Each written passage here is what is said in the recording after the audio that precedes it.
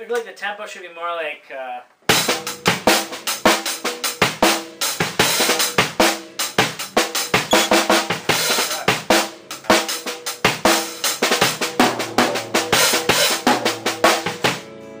Why don't we start like